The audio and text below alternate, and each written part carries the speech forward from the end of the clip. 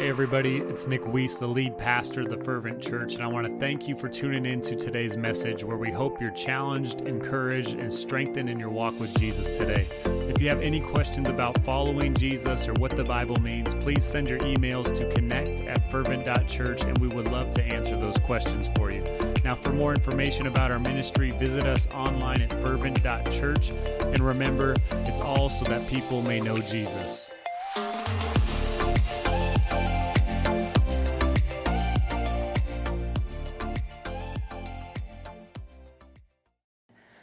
Well, welcome. Happy Sunday, everybody. Um, I'm not Nick. If you guys are visiting, I'm not the head pastor. Nick is actually in Tucson uh, at a pastor's conference, so he's back in our old stomping grounds uh, down there. I think the first thing he said he was going to do was get a breakfast burrito um, and get some coffee down at this place that was really good, kind of downtown area. So we thought we would bring our own breakfast burritos here because I was a little jealous that he has breakfast. You guys don't really have burritos here. It's everything's breakfast tacos. Like breakfast tacos is a thing. Back home, it's like burritos is like you can get like a good breakfast burrito or even like a lunch burrito. It's huge and it's like four bucks. And here it's like you get one taco for four dollars and you need four of them to just be like somewhat satisfied. So we got some breakfast burritos for you guys there. Um, actually, side note, that has nothing to do with what I was talking about. I tried to order one uh, like one of those little gas station things. They're like, no, we don't make burritos. Are you kidding me? I was like, is that a weird thing, I guess? I don't know. Anyways, so he's out in Tucson. That's where he's at. Um, so I'm out here this week and uh, next week, and really excited to kind of dive into what we have this week and next week. Um, because really, these next two teachings are pretty much just strictly the gospel. Um, we are going through the book of John, and I encourage you, if you have not um, listened to or, or, heard or been through these last few books, or the last few weeks rather, uh, I encourage you to go back and listen or read it because um, we all love Netflix, I'm sure. You like shows or, or whatever. It's one of those things like if you're watching a show and you dive in to the middle of a series, like you may start to pick up what's going on, but you miss a lot of context. And one thing when it comes to reading the Bible is context is key. It is very easy to sometimes take things out of context, and that's one thing that we want to be very careful to not do. Um, but again, it just kind of setting the stage of, uh, again, Jesus' life on earth, and we're currently in the book of John. So I encourage you, you can go on our podcast and do that, uh, our website, YouTube, Facebook, you can watch those there. Uh, a couple of quick announcements. Uh, men's fishing trip. Do we have the slide for that, by the way? Um, men's fishing trip. Okay, great. I've been in kids every week, so I haven't gotten this slide yet. Luke, can you take a picture of that so I can sign up? I haven't signed up yet, and I, I would like to go. My phone's back there. Um, but see, we have men's fishing trip. Uh, so, ladies, I'm sorry. It's men's fishing trip. Uh, but it is a lot of fun. We're really excited. Uh, this year, again, we're going to go to uh, the Rockport area. I encourage you guys to sign up. We did have some people get sick the last time, uh, again, I won't mention names.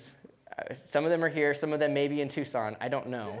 Uh, but we had some people get sick, and but it was a great time. This time we want to make it a little bit more um, like mellow. It was kind of like rushed a little bit last time, so we want to make this a little bit more mellow, a little bit more like time to hang out um, and fellowship, but also catch some cool fish, hopefully and uh, bring home some food. But anyway, so you can sign up on there, uh, click the link on there. Also, uh, small groups are getting ready to come back into full swing. If you're visiting or you haven't been here a part of small groups, we do small groups in like semesters. We're about to start our next swing of small groups. Uh, it is not, it's, it's starting in March. I don't have the date off the top of my head, but tune in, it's gonna be soon. Uh, so it's starting in like the next few weeks. And we meet at Nick and Amber's house and it rotates. So guys week will be one week, and then ladies the next week. It's just really nice, like intimate time to one, get into the word, but also just fellowship. Uh, one of the big things that we were designed for as believers is to fellowship. And I feel like it's really easy. I know I came from a very large church before this, and you could slip in and slip out, and no one would know you were there.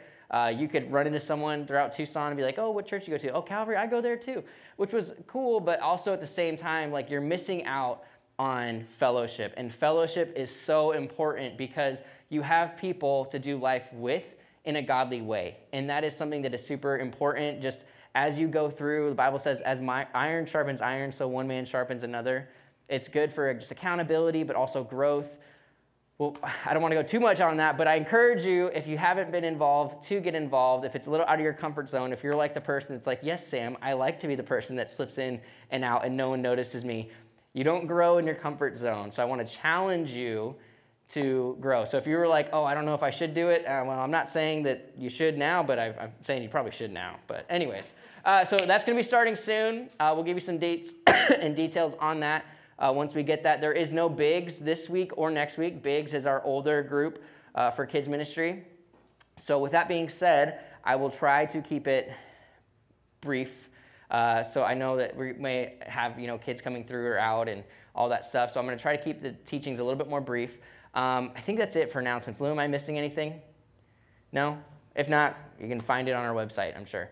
But okay, with that said, let's get into our teaching today. Let's pray one more time, and uh, we're going to get into the word. So, again, dear Heavenly Father, we just thank you again for today. Lord, we just thank you um, just for your goodness, your faithfulness. And Lord, I just dedicate this time to you. In Jesus' name, amen. Okay, so we are going to be in John, John chapter 3. We're going from uh, 1 through 15. Verse 15 is our, our goal for today.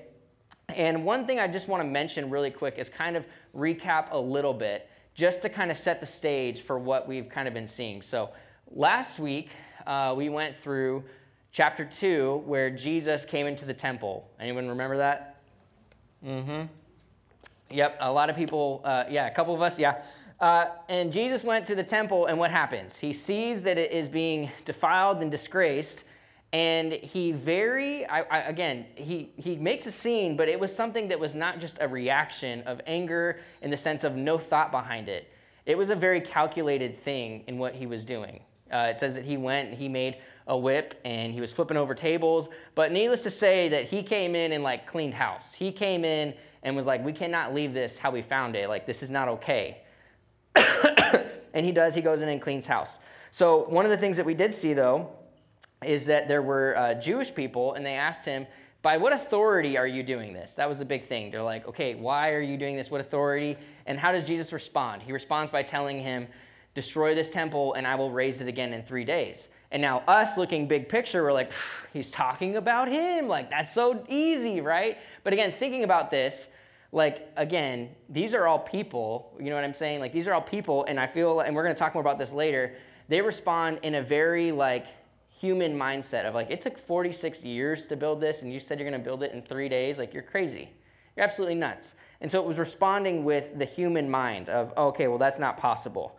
And so they said you know it took 46 years um, they totally missed the point of he was talking about himself. In fact, even the disciples didn't realize it until he was resurrected. It says that he then remember they remembered what Jesus said.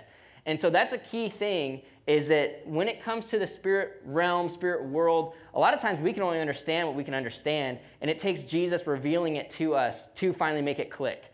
Because again, on all factors, he's like, man, like the temple. I bet you the disciples were even kind of like, yeah, this is a big temple, Jesus. Like three days, really? Like, all right, okay, well, that's kind of crazy. But it wasn't until it all finally clicked when Jesus fulfilled what he was supposed to do, then it was like, oh, okay, now that makes sense. Again, something that only God can do. We also saw that Jesus was over there for Passover, that the Passover festival during that time that he was healing people. It says that many believed in his name. now, when we get into today, uh, our teaching, it's going to be talking about Nicodemus. And Nicodemus has a conversation with Jesus. I saw, um, it says that he came at night, and I, I, was listening to Ed Taylor, if you know who that is. And uh, who's our millennials in here? Couple, couple millennials. Nobody wants to raise their hand. Everyone's like, "Don't talk about the millennials. I might be older than millennials." Okay. Anyways, uh, bad, bad example. Uh, well, there was this thing uh, when I was a kid. It was called Nick at Night. You guys remember that? Nick at Night. Yeah.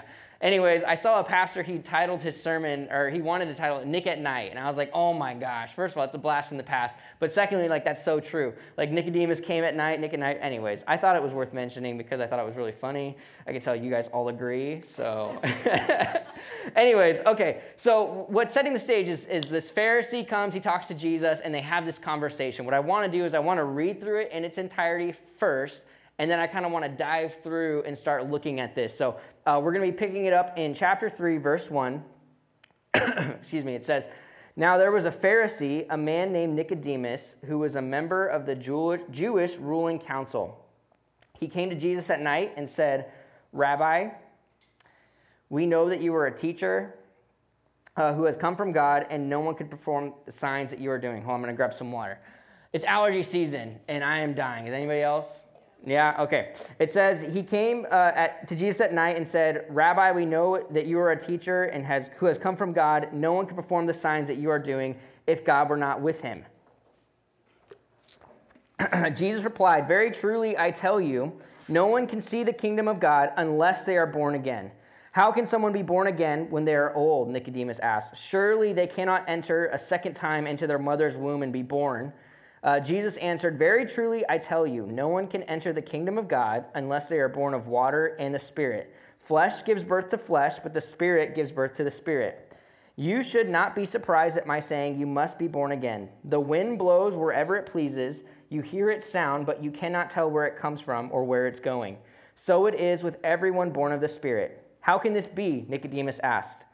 You are Israel's teacher, said Jesus, and you do not understand these things. Very truly, I tell you, we speak of what we know and we testify of what we have seen. But you, but still you people do not accept our testimony.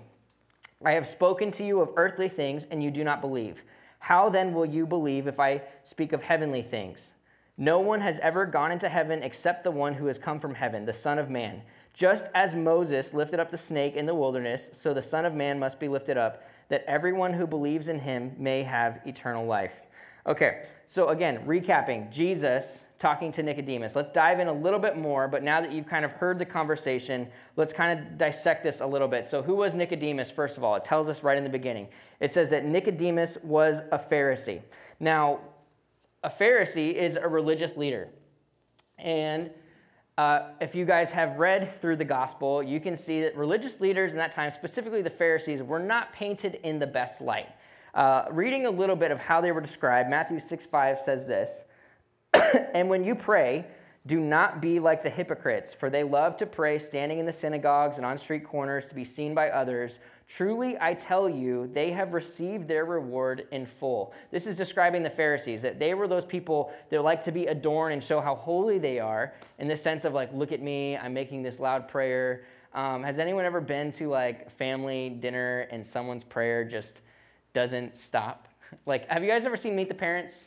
And he's like, Oh Lord, we thank you most gracefully we see you more clearly. Anyways, that is like the Pharisees. Like they are literally coming out and they are like, okay, how can I just sound so fluffy? How can I just make this like all about me? And that is what Matthew is saying is like they're coming, they're inher- they've already got the reward. The reward is like other people looking at how holy they are. And that's what he's saying. Like this is a description of the Pharisees. Also, Mark 12, let's go there real quick. 38 through 40, it says this.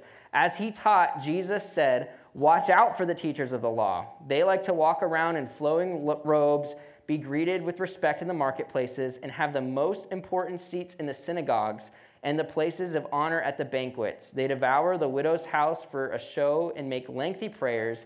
These men will be punished most severely. Okay, again, these Pharisee people, again, in, in general, they are all about themselves. They're all about the show. Um, in this culture, their religion was a really big deal. And these leaders, these teachers of the law, the Pharisees, were ones that held a lot of power within the temple. I mean, they were the, the teachers. And so they kind of used that and they kind of made that as a, of a status symbol of like, man, well, I'm so holy, you need to listen to me. And so that's kind of setting the stage of the type of group that Jesus is talking to. He is speaking with a Pharisee.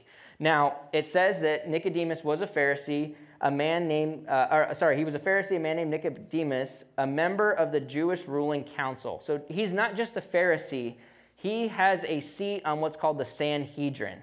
The Sanhedrin is like, in that day and age, like the Supreme Court.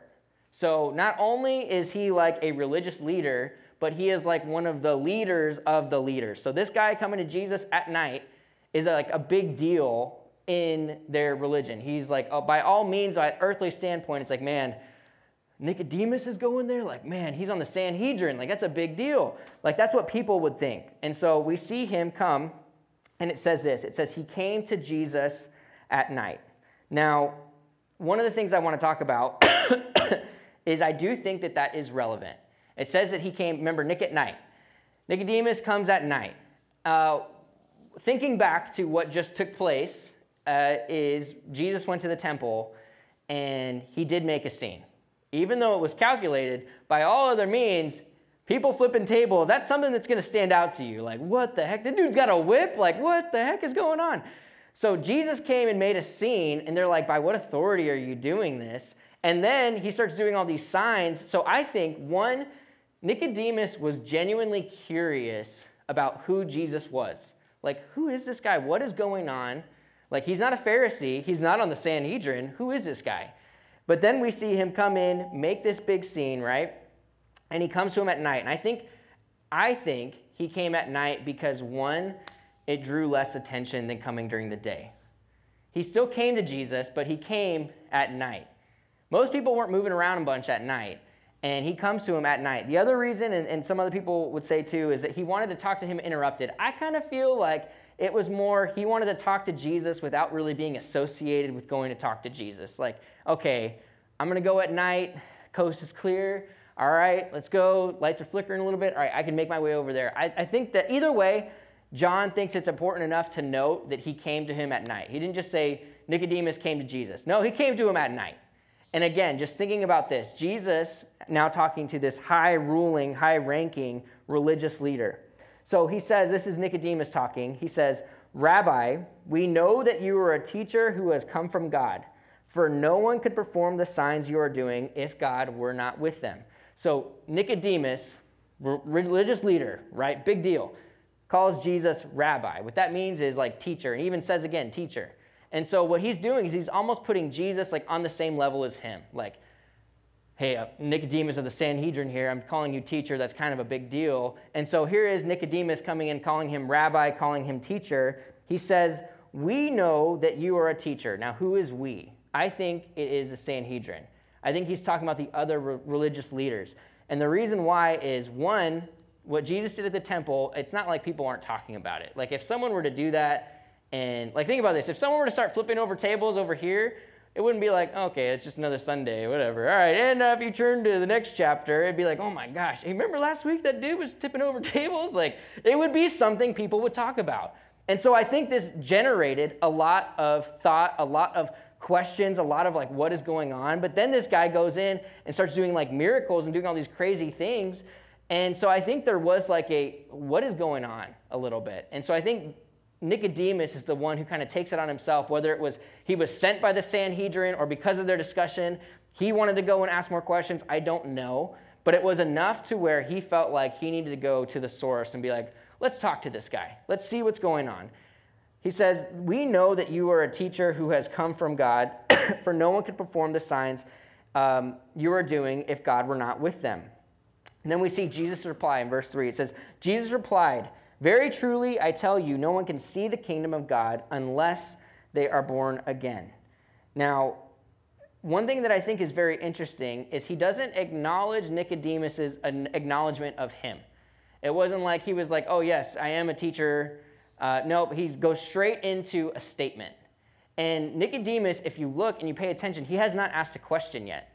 He was still kind of introing of like, hey, uh, we recognize that you're a teacher. We recognize that you're from God because you've done some crazy things. He hasn't asked anything. Jesus comes with an answer already. And what does he say? He says, Very truly, I tell you, no one can see the kingdom of God unless they are born again. Now, if you think about that, and in the, form of conversation, that seems a little random. But again, this is Jesus. We look back a couple verses ago in chapter 2, it says in verse 23, uh, while he was in Jerusalem, uh, the Passover festival, many people saw the signs he was performing and believed in his name, but Jesus would not entrust himself, for he knew all people, and he did not need any testimony about mankind because he knew what was in each person. Again, Jesus knows our heart. Jesus knows what's inside of us. And I think this is Jesus proving that to Nicodemus. I think Nicodemus had some questions. Again, this is a teacher of the law. This is someone who would know the law very well. This is someone who would know God's word very well. And I still think he probably had some questions. And Jesus comes with answers before it's even asked. And the reason why, we'll get to that here in a second, why I believe that at least. He says, Very truly, I tell you, no one can see the kingdom of God unless they are born again. Again, he has not asked a question. He, Nicodemus started with a statement, almost a little bit of flattery, like, Hey, Jesus, you're a teacher. You must be from God because you're doing good things. And all of a sudden, no one can enter the kingdom of God unless they're born again. Like, that would be like, whoa, that's so random. But look at Nicodemus' response. It doesn't respond with almost like, oh, what are you talking about? He responds with, how can someone be born when they are old?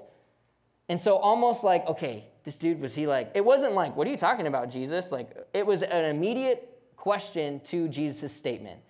Again, this is showing that I think that Jesus knew something was in Nicodemus to where he had some questions, and Jesus, knowing what's in us, started this conversation.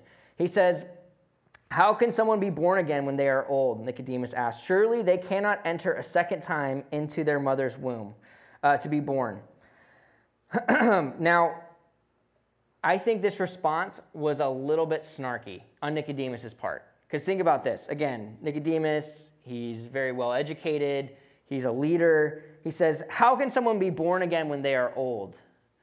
And think about that. When Jesus says someone needs to be born again, and you think about it rationally, you're like, well, that doesn't really make sense. How could someone be born again? But I think the way that he asks is almost like a way of, like, I got you. That doesn't make any sense, right? And it was almost like a sarcastic question. I think that Nicodemus was being a little bit sarcastic in this. He says, Surely they cannot enter a second time into their mother's womb to be born. So Jesus goes into again and says that in verse 5 Jesus answered, Very truly I tell you, no one can enter the kingdom of God unless they are born of water and of the Spirit. Flesh gives birth to flesh, but the Spirit gives birth to the Spirit. And so now we have Jesus expanding on what he's saying. He says, born of water and the Spirit. What I think that this means is it parallels with verse 6. It says, talk about flesh gives birth to flesh and the Spirit gives birth to the Spirit. Meaning, one, when you think about this, when you are born, when you are conceived, what are you in? You're in water. You're in your mother's womb, has water. It's talking about you were conceived and then you're uh, also being born of the Spirit. Now, what we're going to talk about, and you're going to see here in a little bit, you can only be born in the Spirit in one way. And that's what Jesus is going to go into a little bit more detail on here in a second. But he's giving him the rationale of like, your thinking is all wrong. Again, just like with the temple, when he says, You tear the temple down, in three days I will rebuild it, Nicodemus is automatically going back to earthly minded things. You said reborn, but how can I be reborn? How can an old person be reborn? That doesn't make any sense. And the thing is, is the things of the spirit world a lot of time don't make sense to us. We can only understand and comprehend so much that without the Holy Spirit, without that, that additional help from Jesus, it just doesn't always click. It doesn't make sense. So Jesus explains, he says, uh, they are born of water and of the Spirit. Flesh gives birth to flesh but the Spirit gives birth to the Spirit, meaning that you need the Spirit. He says, You should not be surprised at me saying, You must be born again. Um, let me pause there for a second. We've talked about this now a couple of times. When he says born again, what born again actually means in Greek, when you look at it translated, means born from above. So, born from above. So, think about this. When we're saying born again, born again, it means born from above. And it's talking about the Spirit something that we have zero control over in the spirit world. I don't know what's going on. In the physical world, you know, you can only control so much even. Like now we're talking about elements that we, first of all, have a hard time wrapping our mind around and not even to understand. He's saying that the spirit can only be born from the spirit. Says you should not be surprised by saying you should be born again. So thinking about it this way, born from above. Charles Spurgeon, he says this, a man may cast away many vices, forsake many lusts in which he indulged, and conquer evil habits. But no man in the world can make himself to be born of God. Though he should struggle never so much, he could never accomplish what is beyond his power. And mark you, if he could make himself to be born again, still he would not enter heaven, because there is another point in the condition which he would have violated. Unless a man is born of the Spirit, he cannot see the kingdom of God. So we are talking about now something that one, only God can do. Only God can make someone born again of the Spirit. And Jesus is going to talk more about that again. He's saying that you must be born above, you must be born from the Spirit. This is what Jesus is saying is the only way to heaven. This is what he's saying. You cannot enter the kingdom of God unless you've been born of the Spirit. Now, this would be shocking to Nicodemus because to this point, people thought they were all good. Like, yeah, they're going to heaven, they're Jewish, they keep the commandments, you know, they do all the things they're supposed to do. I'm good, I'm covered. And now Jesus is saying, first of all, he's the fulfillment of prophecy, and he's saying the way to the Father is to be born again. And he's going to talk about further what that means to be born again, but he's saying, like, this is the way. And this is something that, one, we think about, you know, 2,000, however many years later, like, oh yeah, duh, Christian 101, like you go to church one time, like that's what you hear, like you need Jesus in your heart. This is something that would have been very foreign to Nicodemus because, for one, he probably thought he was already good. He's like, what are you talking about? Like, I'm, I'm a righteous man. Like, I'm a good guy. I'm on the Sanhedrin, for goodness sake. Like, I'm a good guy. I'm, on, I'm a big deal. But if we look at the big picture, John 14, verse 6 says this Jesus answered, I am the way, the truth, and the life. No one comes to the Father except through me. That means there is one way to the Father, and that is Jesus. That is Jesus. And Jesus is coming here, setting the stage. He already prophesied it in the temple build, tear this temple down, I will rebuild in, in three days, talking about the death and resurrection. And then he's here coming in to his people, and he's talking to Nicodemus like, listen, the way to the kingdom of heaven, there's one way, and it is to be born again. Again, this ideology that one, Nicodemus is, you can tell is wrestling with because of his response here in a second. But two, it's challenging everything that they had known to be true or thought they knew to be true. And so we're going to look at this a little bit deeper here in a second. um, Jesus does illustrate this concept. He says in verse 8, The wind blows wherever it pleases. You hear its sound, but you cannot tell where it comes from or where it is going. So it is with everyone who is born of the Spirit.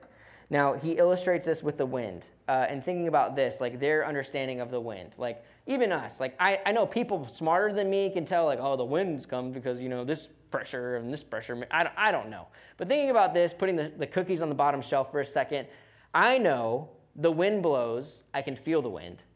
I can see the wind move the trees. I can sometimes hear the wind when it's super loud, but I don't know where it's coming from. The only way I know is I throw some grass in the air and I'm like, okay, that's where it's blowing. Okay, great. I kind of feel it on this cheek, but I don't know. He's saying the same is true of the Spirit.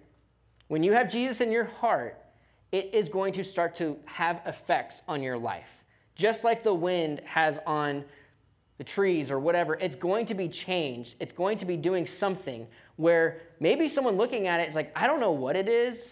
I don't know what's going on. You know, if people were to not know, let's just think about this for a second. If you had a, and you're to have to really use your imagination, it's probably not the best example. If you had no idea what wind was and you just saw a picture of a tree in a windstorm, you'd be like, that tree's like dancing. Like, what's going on with the tree? Is the trees that thing trees do? No, it's the wind. The wind is causing that. This invisible force is causing this change. And we know windstorms, they can be crazy too, right? They can uplift things. And it's like something that you can't see can be so powerful. And it's like that is what he's saying is the same as with the spirit. Like, you may not be able to see it, you may not even understand everything of it, but it doesn't mean that it's not powerful and that it's not strong. That's what Jesus is trying to articulate. Like, you may not understand everything, you may not know or really recognize everything, but it doesn't mean that it's not true, and it doesn't mean it's not going to have a big change. That's what he's trying to illustrate to Nicodemus. He responds in, in here, and I think this is Nicodemus genuinely trying to understand this. He says, How can this be? Nicodemus asked. Verse 10, Jesus replies to Nicodemus, saying, You are Israel's teacher Jesus said, And you do not understand these things. Very truly, I tell you, we speak of what we know and we testify to what we have seen, but still, you people do not accept our testimony. I have spoken, it, uh, uh, spoken to you of earthly things, and you do not believe. How then will you believe if I speak to you of heavenly things? No one has gone into heaven except the one who has come from heaven, the Son of Man. Now, excuse me. Now, um, again, Jesus' response to Nicodemus is one, I think Nicodemus at this point is genuinely like, how can this be? Like trying to understand. I don't think this is him no, any longer being snarky. Um, and Jesus, I think at this point, is starting to flip some tables in Nicodemus's heart. Because again, we talked about who Nicodemus is. and enough to where John felt worth mentioning that he was a Pharisee and on the ruling council. So he's on the Sanhedrin. So again, Nicodemus is kind of a big deal in that day and age, at least in man standards. And he's saying, like, that's not, that's not it. And now he comes and he says, Listen, you are Israel's teacher, and, uh, and you do not understand these things. I think this is almost like, listen, you're like the best of the best, and you don't get it. Like, meaning you aren't capable. Like, you, our best, that's the thing, and that's what Charles Spurgeon was saying too. Even at our best, we are nothing. We are nothing. That we are nothing without Jesus. And he is saying, uh, You are Israel's teacher, and you do not understand these things. Very truly, I tell you what we speak of and what we know. If you look back to how Nicodemus started, he's, again, Jewish re- religious leader on the Sanhedrin. He starts by saying, Rabbi, we know. He starts talking about what we know, what man knows, what the, the Sanhedrin knows. And he says, You're Israel's teacher, and you don't understand. Meaning, you guys that think you have it all together, you're missing it. And how does he respond? He says, we speak of what we know. Now, this is Jesus saying what he knows. Again, Jesus being omniscient, all knowing, saying what he knows. He says, uh, And we testify to what we have seen, and you do not accept our testimony. I have spoken to you with earthly things, and you do not believe. How then will you believe it if I speak of heavenly things? Now, I will say this I'm not going to harp on Nicodemus too much because, again, 20,000 feet view, 2,000 year glance at everything, it's like, Nicodemus, dude, you're talking to the Messiah. Everybody knows that. Like, come on, that's the guy. That's the guy you've been waiting for. It's really easy for us to look back and do something called Monday chair quarterback. Look at it after it's done and be like, look at the mistakes he made. I feel like people do it all the time when we look at the Israelites, uh, which I'll talk about a little bit more next week. People look at the Israelites like, how can they be so dumb and just keep doing these same things over and over again? Like, these are real people. Like, you think about us, I think about me. I won't even talk about you guys, talk about me personally. Like, a lot of times, like, I'm like, man, like this doesn't make any sense. How am I going to do this? I start getting in the way of my own my own mind, and I'm like, gosh. And then God is faithful. It says that God's faithful in our faith in our faithlessness or faithlessness. I can't talk. Anyways, um, and so this is Him saying like, you don't have the answer, you don't understand, or you're not believing. And I will say to Nicodemus's defense a little bit is even the disciples didn't understand what Jesus was saying when he was talking about the temple. And so sometimes, like I said, it does take time. It t- takes time for sometimes Jesus to reveal stuff to us and the Spirit to reveal stuff to us. Sometimes when we're called to do something, it may not make sense until later. It may not make sense or it may seem crazy um, until later. But it, the thing is, is, is, and we'll talk about this a little bit more next week, is the obedience and, in the belief, in the faith. Um, I think about it like this, and if you guys have been around in, in my Bigs class, especially, we've talked about how um, we can only understand so much. Like I talked about earlier, there's some really smart people in this world. There's some people that understand some crazy stuff. Morgan and I, my wife, we were talking about on the way over here, um, like these bridges they're building, and they're like, man, how did someone just think about like putting rebar and like concrete, and this is going to support like thousands of pounds? Like, who just thinks of that? Like on their own. Like I'm like, okay, like I can maybe put together like a kit from IKEA with the instructions, maybe, you know, like, I, you know what I mean? Like, some people are just incredible. But the thing is, at the end of the day, Nicodemus being in the role he was, he was like the top of his game in the religious world, and Jesus is saying, like, you still know nothing. Think about us, like people in general. Like, I, I think about and I compare it to this. Uh, when I was, uh, I don't know, like middle school, I had a pastor share this, and I, I hang on to it. It's like, has anyone ever, ever had a goldfish at your house or when you were a kid? I did. His name was Rocky. I fed him tissues and pizza, and he died, surprisingly. Apparently, that's not a good diet for a betta fish. But um, my point is, is, is those fish, right? They only can understand so much, right? They can understand so much. You have their little guy, their little scuba guy on the bottom. He recognizes, like, okay, this thing's not going to eat me, whatever. You put your food in the little tank. What's it do? It swims up, knows the food's there, right? But that fish has zero understanding of what you do with your day. Nothing. Doesn't understand who your friends are, who your family are. You may talk to your fish. Uh, kind of sad story. When I lived out here first, I lived out here. Um, we did the church plant stuff, but I had a job, and they're like, "You have two weeks to be out here." So I lived out here by myself for like four months, And I got lonely and I bought three fish. and I'm all, what's up, boys? How we doing? I don't even know if they were guy fish. I don't know. I'm like, yeah, I had a good day, you know, whatever. But your fish have no idea about any of that. They can't comprehend that. They can only comprehend what they can digest. And it's like, oh, food, this thing's not going to eat me. But it has no idea about, okay, well, who's your family? Who's your friends? What do you do for a living? How's your 401k looking? It has no idea about any of this. And so the same is true of God, the creator of the universe. When we start to think of ourselves as like, man, I'm pretty awesome, pretty smart, I've got a PhD. I'm not talking personally. I don't have a, I, I'm still at like a 12 year sophomore in college. I haven't finished yet. I, am holding out. I might go back. I don't know. Uh, but my point is, is like when we are comparing ourselves to the creator of the universe, it is like a goldfish in a bowl. Like we have some pretty smart goldfish in this world, don't get me wrong. There's some brilliant people. But at the end of the day, compared to the creator of the universe, I mean, I would even say that's a very generous comparison, but it, it does not compare at all. So when you talk about this, and Jesus is talking about, we can only understand so much. And I think a lot of times we get so focused on what we don't understand that we forget about what we do and what we have been promised. I can't remember who it was. I can't remember if it was a, it was one of the old, old great dead guys. I don't know, Charles Spurgeon, somebody. It was one of those guys. They were like, I'm not worried about what I don't know about God. I trust what I do know about God for the things I don't. And like that is sometimes where we sit. And it is sometimes it's uncomfortable because we want to know things. I want to know like why is this that way? Why is that that way? I'm a goldfish in a bowl, and sometimes I can only understand so much. One day, you know, when we're up in heaven, I think Nick was talking about this. I'm gonna have a lot of questions for God, like why is this like that? Why is that like that? Why is it? Why did you do this? You know, and once we understand in a, in a greater sense of what he is doing, things may make sense. But right now, we're a goldfish in a bowl, and we can only understand so much. And this is what Jesus is like basically doing to Nicodemus. He's like flipping the tables in his heart.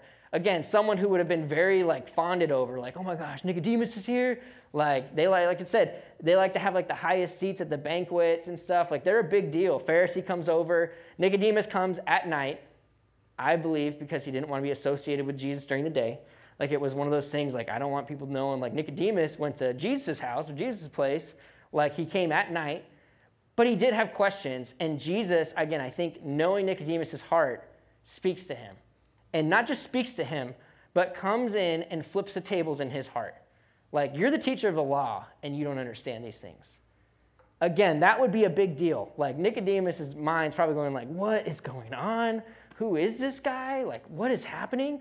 Again, a very humbling look at who we should be looking at ourselves in is we are nobody. We are nothing. Even at our best, it says that we are not good, right? Um, so, continuing on, uh, how then will you believe if I speak of heavenly things? No one has gone into heaven except the Son of Man who comes from heaven. I'm sorry, except the one who comes from heaven, the Son of Man. Verse 14. Um, verse 14 says this Just as uh, Moses lifted up the snake in the wilderness, so the Son of Man must be lifted up, that everyone who believes in him may have eternal life. Now, again, this is something that is, he's relating to something that Nicodemus would know, which he's talking about the snake on the pole. Um, do I have any like prior like EMS folks or doctors or nurses or anything? Okay, yeah, you know where I'm going? Okay. Cool. I'm not one of those either, but that's fine. All right. We're all, if basically if someone got hurt, we're all just at the whim of YouTube, I guess. Um, all right. So, uh, anyways, I'm going to turn over here quickly to Numbers. And, and I want to point this out because what Jesus said should resonate very much so with Nicodemus. Again, he's a teacher of the law, he knows God's word very well. And so, what he is saying is something that should click in Nicodemus's mind. So let's go here. It's Numbers 21, verse 8 through 9.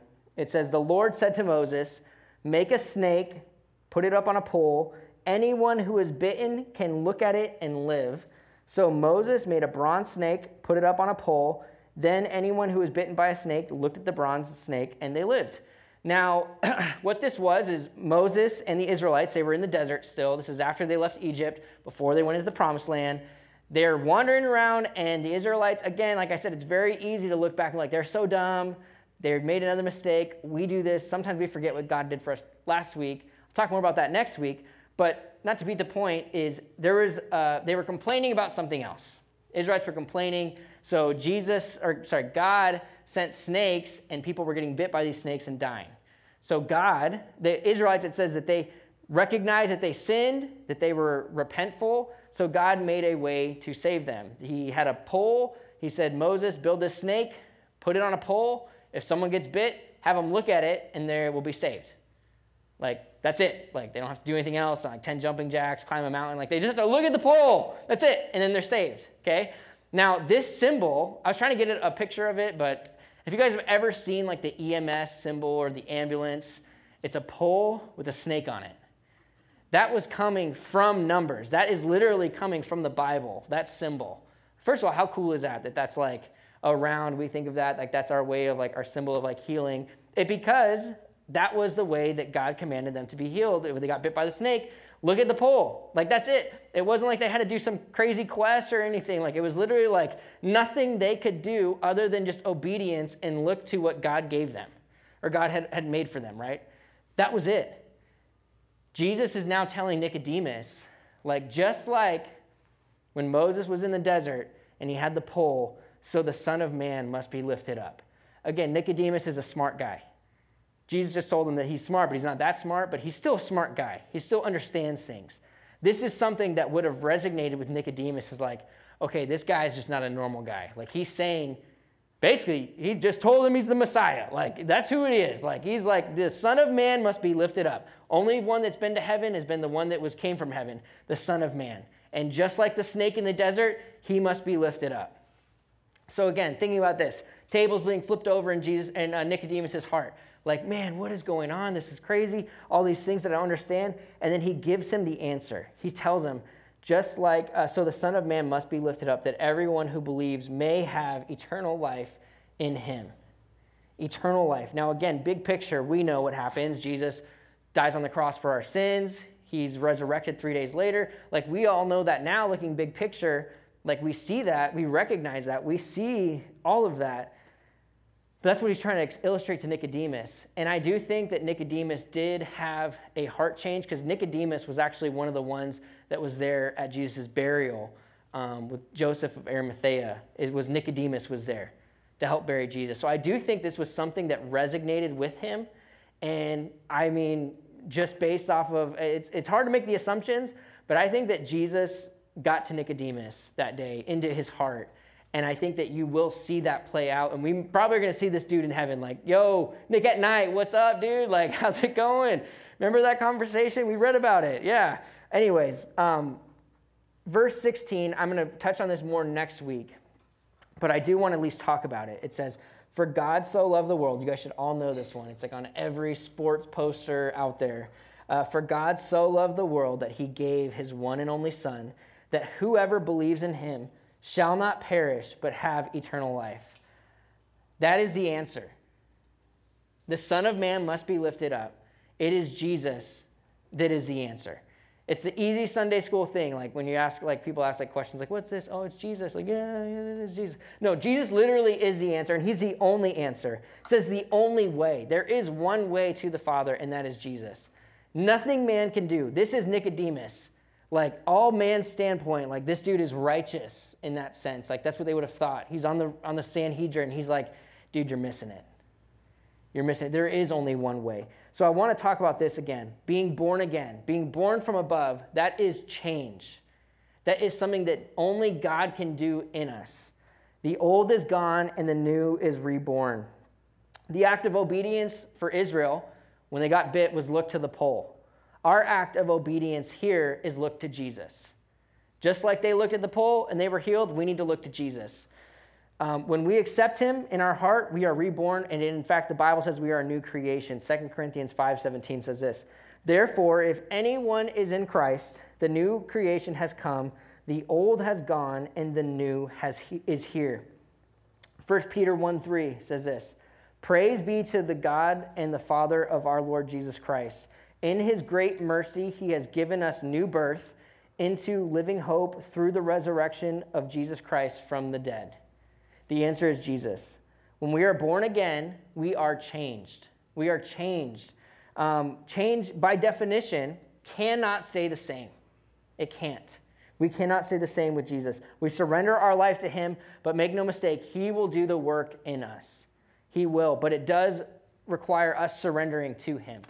Um, in our Bigs class, I talk about this, and it just kind of helps illustrate. We've been talking about like building good foundation, um, like you build your foundation, like the parable of the rock versus the sand. You guys remember that one? The guy built his foundation on the rock, storm came, was good. Dude built it on the sand, it's gone, right? So we talked about that. We talked about that with our, our Bigs class. I'm like, hey, you guys have such a blessing and such a benefit that you have Jesus now, that you know Jesus now, because your building blocks, your foundation for life, if you can stay rooted in Jesus, like you are going to have a solid foundation versus you know someone who's been in the world living in the world and then coming later to him. Not that jesus isn't going to do that. We'll talk about that in a second. But like how much stronger a foundation if you've been walking with him like oh your whole life? You know what i mean? We, we talk about this. Um, chip and joanna fans anybody? Magnolia fans? A couple of us? I heard, I heard a silent woohoo like a, a yeah a couple, a couple of us? Okay. I went to waco. It was okay. I don't know. I went to the bakery. It was overpriced. It was all right. Anyways the best thing i got there was a sweet tea uh, it was a big, giant, like gallon of sweet tea thing. It was pretty cool. Anyways, we talked about Chip and Joanna. What do they do? Their show, Flip or Flop, or whatever it is. Is that their show? Flip or Flop? No? Which one's theirs?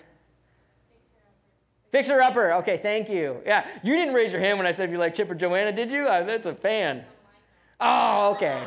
Well, I guess that's another reason why you would know. Never mind. All right, bad example. Uh, okay, so Chip and Joanna oh, yeah, you're in Waco, though. That's why you don't like them. Okay. That's a bias point. True. I can understand that. All right. Um, but what they do, if you aren't familiar with the show, they take a house, one that was run down, one that's, you know, in bad condition, and what do they do? They gut it. They gut it, they redo it, they make it all nice, like all new fixtures, shiplap, shiplap, whatever, you know, do their thing, all this fancy stuff. I don't know.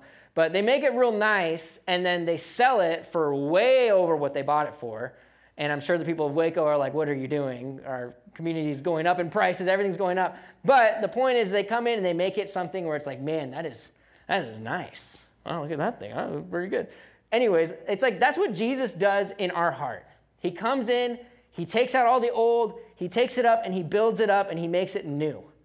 Makes it new, right? And that's what we're talking about when I talk about the bigs. We're like, man, you guys building your foundation right now on Jesus, like talk about like the master builder, like coming in and just letting him shape your life. Like now, don't get me wrong, our life, even if we start with Jesus at a young age, it's not going to be perfect. We're going to make mistakes. We're going to have things like even a, a good house now, if you think about the house example, needs maintenance, right? Sometimes it's like, man, a pipe burst, like that's not good. Sometimes we mess up. And what I want you to understand is walking with Jesus does not mean you are perfect. We're going to talk about that in a second. It doesn't mean that you are perfect, but it does mean that you are changed. We are changed. When you let Jesus into your life, it's like the Chip and Joanna. Let them in, whether you like them or not, I guess. Let them in, let them do the work. They're going to go. You just got to let them in and maybe pay $200,000 for Chip and Joanna. You don't got to pay that for Jesus, though. But the thing is, you let them in, they'll do the work. Jesus will do the work in your heart. He's going to make it new. He's going to make it something better than you can imagine. And it's like that's what he will start to do in you. You just have to give him the access, and that is inviting him into your life.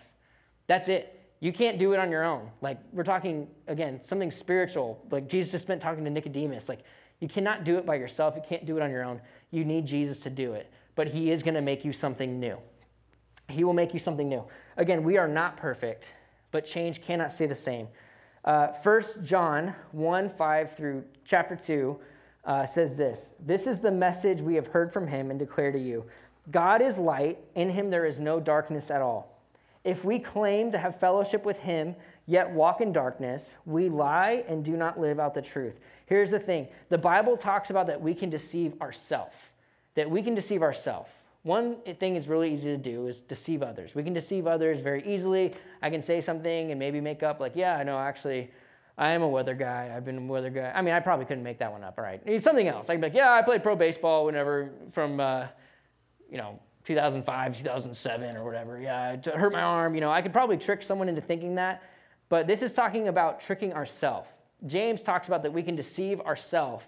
One of the things that this is saying is this is like a gut check for us. Again, Nicodemus thought he was good. Nicodemus came into this conversation like, I'm Nicodemus, the Sanhedrin. Like, I'm a big deal. And Jesus is like, dude, you're missing it. The Bible says we can deceive ourselves. It says, if we claim to have fellowship with him, yet walk in darkness, we lie and do not live out the truth. That is like if you were like, yeah, Chip and Joanna are going to come fix up my house, but you are letting a bunch of people live there, party all the time, wreck it, trash things. It's like they're going to try to undo everything that's trying to happen. Like it's just not going to work. It's not going to work. You can't live both lives. If you are surrendering to Him, it is letting Him come in and do the work in you.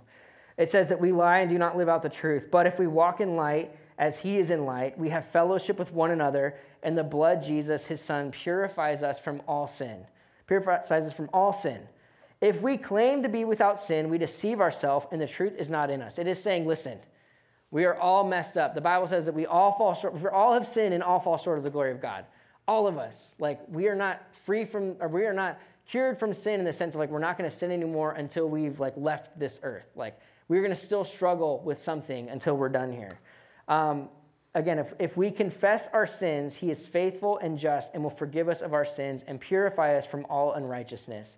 If we claim we have not sinned, we make him out to be a liar and his word is not in us. My dear children, I write this to you so that you will not sin. But if anyone does sin, we have an advocate with the Father, Jesus Christ, the righteous one. He is the atoning sacrifice for our sins, and not only ours, but the sins of the whole world. We're going to talk about that more next week. But the thing is, is when we walk in light, we no longer have fellowship with the darkness. When we have Jesus, we are reborn, we are a new creation, and new cannot stay the same. So when we look inwardly, again, I'm not, I'm not saying like you guys are perfect. I'm not saying I'm perfect by no means. If you spend any amount of time like, yeah, Sam, you're definitely not perfect. You got a lot you could work on. True, probably very true. Uh, but the thing is, is we should be different. We should be changed. It should be changed. You may be like, man, I got upset at something, but you know what? I went and I apologize. I was remorseful, and I'm genuinely trying to work on it. That is different than, oh, I'm just mad. I'm just going to stay mad. I'm going to keep doing what I'm doing because that's me. Like, that is like, dude, you're making some scary choices. But, anyways, there is no house too broken for Jesus to come in and fix. Nothing. Nothing you could have done is going to be too far for Jesus to come in and fix. We're talking like he is the master builder. He will come in and make you new. He will come in and make you new, but sometimes it is painful and sometimes it does take time to walk through things. Sometimes there is healing, sometimes there's a lot of hurt that takes time to heal. Sometimes you may never be healed from certain hurt until you're done here. Like there are some scars that run deep, but what you can't have is forgiveness for people. We'll talk about that more on another day as well. Um, but even a solid house, I'm gonna, I'm gonna close here in a second. Even a solid house, even if you've been walking with Jesus a long time, you still need maintenance. And it requires intentionally walking with Him. It does. We all make mistakes. Like I said, sometimes in a house, got a busted pipe. Sometimes in your walk, you blow it. Sometimes you messed up. Sometimes it's a little thing, sometimes it's a big thing. But the thing is, it says that Jesus is faithful to forgive us of all sins. All sins, right? We're going to make mistakes. What I want to end with is one Jesus loves you more than you know. He's already defeated sin. Just like the Israelites just had to look to the snake to be saved, you just have to look to Jesus. That's it. He did all the work, He did all the labor. It's not like this crazy quest you have to do to have eternal life. It is literally just live for Jesus. Have him in your heart. That's it. Have him in your heart, and that's how you're reborn. I want to close with this. Uh, we don't have communion today, we are out of cups. Um, but I do want to close with a time of prayer. We're going to have uh, the worship team come back up here in a second and uh, lead you guys in a song. I just want to encourage you with this is if you have something today or if you're like, man, like I just, I blew it this week, I had the pipe blow, uh, and I messed up this week, don't leave today without putting that at Jesus' feet. Don't leave today without making that heart clean. Um, he is faithful and just to forgive us. And my biggest thing is if you guys need prayer for stuff, like again, it talks about fellowship. Like I talk about fellowship, we talk about fellowship here.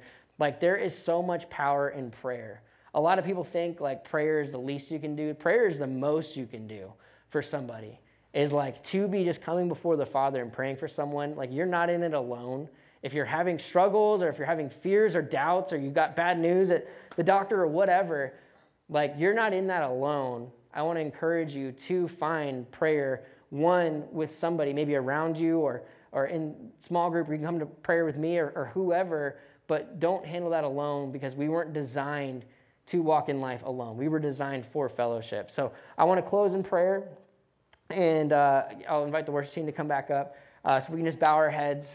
Um, dear Heavenly Father, Lord, I just thank you for today.